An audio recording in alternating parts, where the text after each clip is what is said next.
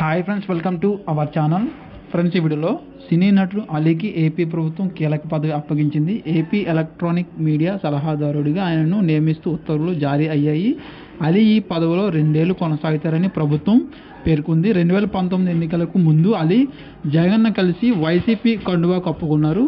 So ఇది friends ఈ వీడియోలో ఎలాంటి అప్డేట్స్ కోసం మన ఛానల్ అయితే సబ్స్క్రైబ్ చేయండి. వీడియో లైక్ చేయండి. కుదిరితే మీ ఫ్రెండ్స్ ఫ్యామిలీ కూడా షేర్ చేయండి.